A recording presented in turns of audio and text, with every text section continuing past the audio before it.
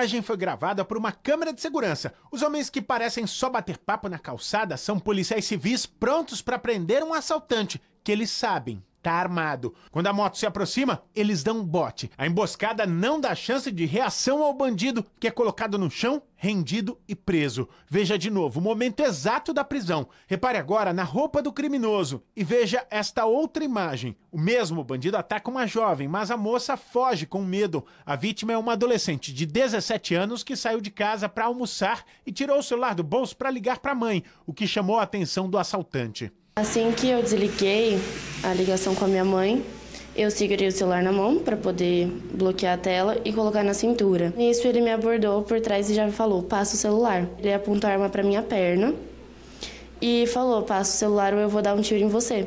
Apesar de ter conseguido escapar, a menina ficou desesperada. Comecei a me tremer, não tinha reação nenhuma.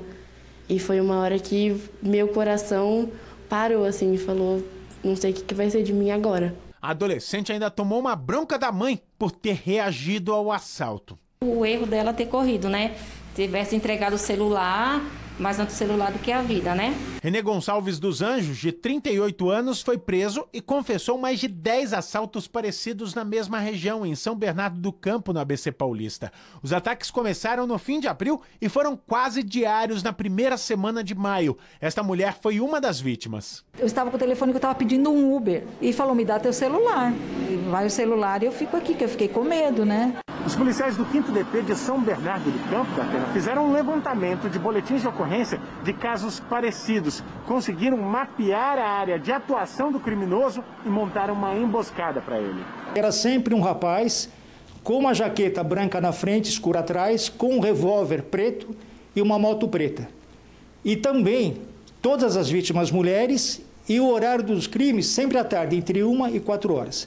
No momento da prisão, Renan estava com a mesma roupa, capacete e com a arma, um revólver calibre 38 falso. O ladrão teve a prisão temporária de cinco dias decretada pela Justiça e vai responder por vários assaltos cometidos. Ele já confessou mais de 10 crimes, correto? E nós acreditamos que sejam até mais.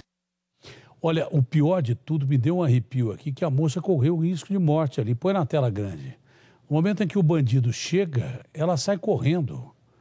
Olha, para ele atirar nas costas dela, não dura nada, olha. Saiu correndo, não faça isso, entrega o celular. É que às vezes é a única coisa que a pessoa tem e, e meu Deus do céu.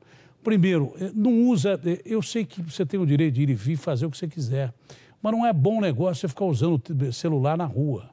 Ela levou uma sorte que ele não deu tiro. Se é outro bandido pior do que esse aí, será que tem bandido pior ou melhor? Tem. É, como tudo tem raça ruim. Ela saiu correndo, cara.